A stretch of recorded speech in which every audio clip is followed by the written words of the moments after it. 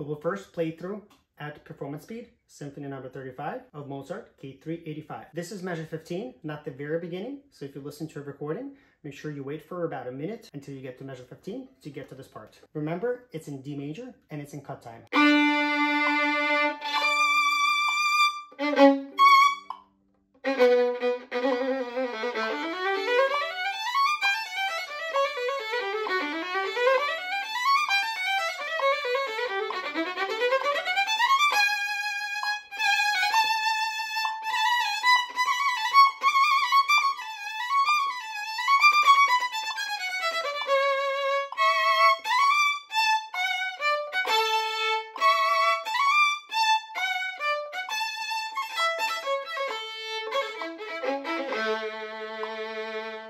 Now we'll go over what the issues are and some of the challenges here.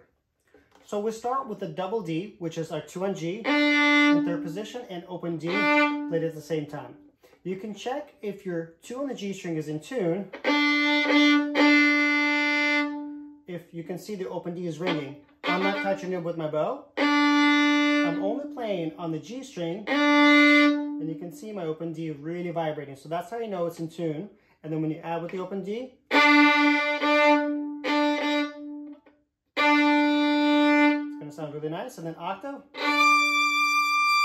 The trick here is make sure you hold to the very last note, separate.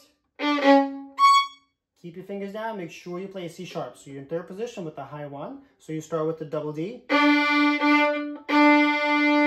Octave.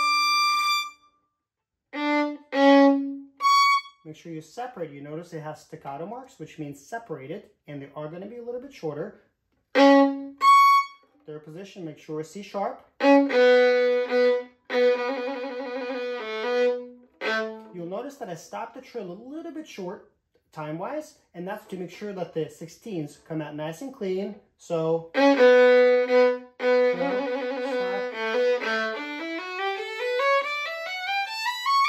This is just a basic D major, two octave scale.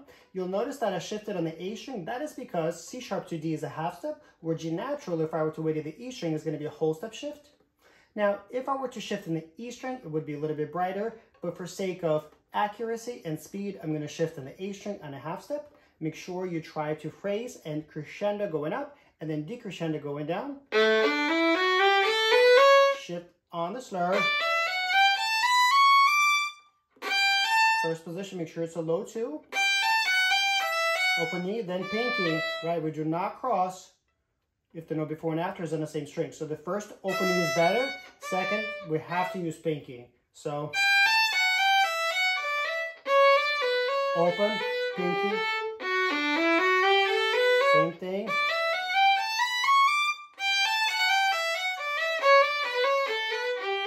Then make sure you tighten up your right hand a little bit. Your fingertips need to be more. Third position. Pull back a half step.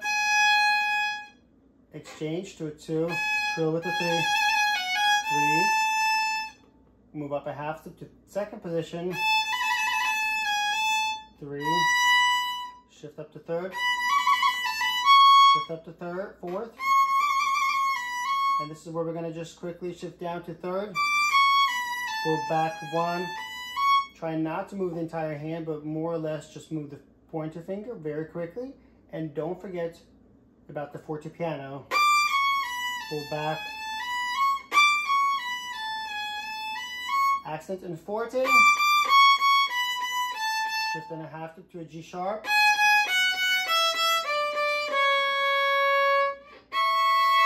So this whole step is, or this sixth, is either C sharp. Make sure that the distance between the two fingers is a whole step. And also add a little bit extra stretch because you're in A, A and E string, which means you have to go between two strings. So stretch a little extra. And I will practice this shift from the C sharp first to E. First position to third. Then practice going to the double stop.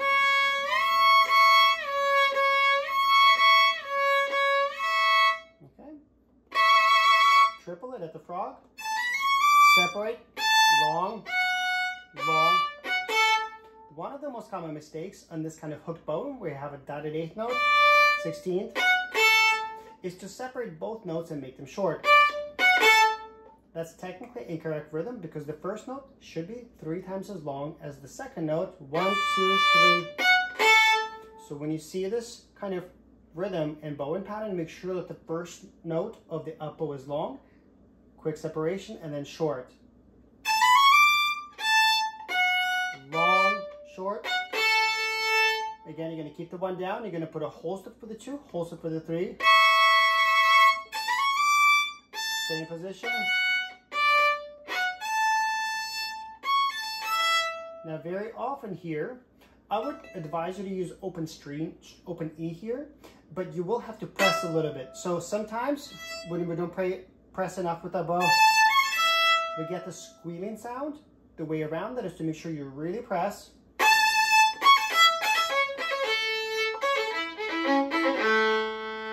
Right, so make sure if you don't you could stay in position and you could play one, three, one, two, three, oh, two, four, two, oh.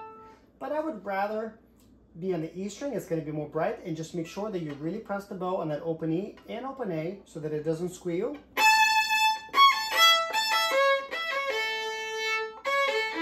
Now the next part is tricky because you don't have open strings. So what I would do is on the D string, keep the three and one down and I would just roll it for the last note. So don't forget about the forte piano on the last note. So last line is D major arpeggio. Separate the long notes.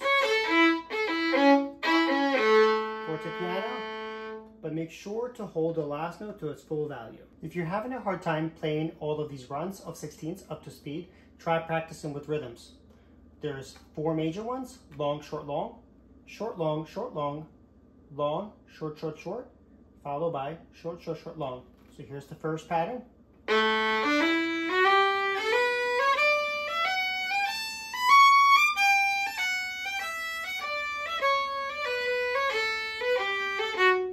Next, you could do short long.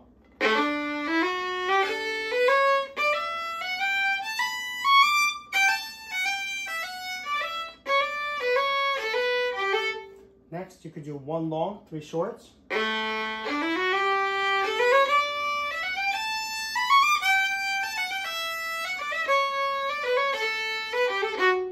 And last, you could do three shorts, one long.